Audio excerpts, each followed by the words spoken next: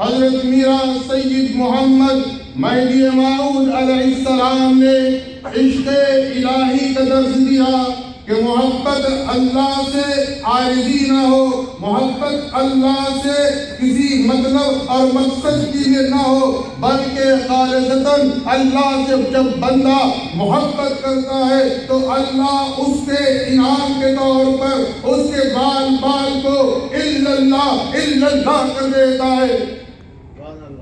اور اس بات کا ثبوت حضرت میرا محبوب علی قطع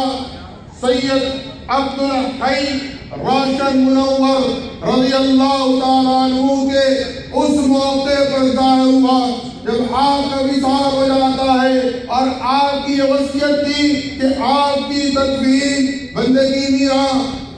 امیر المصدقین، میرا سید محمود ثانی مہدی کے میں دی جائے تو آپ کے جنازے مبارکہ کو پھلواری سے بھیلوٹ میں جایا جا رہا تھا۔ تو راستے میں آپ کے لاش مبارک سے اللہ اللہ کی آواز آ رہی تھی۔ آپ کے فرزن حضرت بندگی میاں سید حسین کے خیال کرتے ہیں کہ ممکن ہے والد بزرگوار دوبارہ اس دنیا میں تشریف لے آئے ہیں جنازہ روکا جاتا ہے جب دیکھا جاتا ہے تو کیا نظر آتا ہے کہ آپ کا جسم اکبر اس